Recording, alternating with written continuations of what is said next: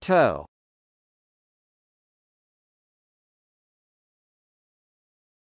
Toe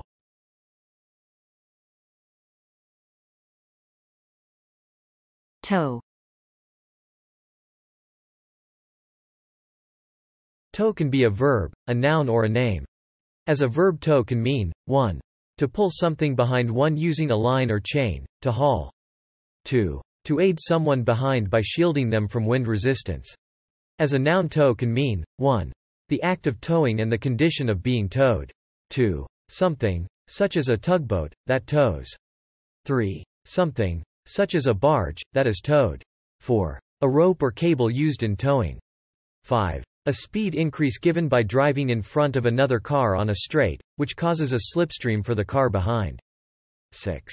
An untwisted bundle of fibers such as cellulose acetate, flax, hemp or jute.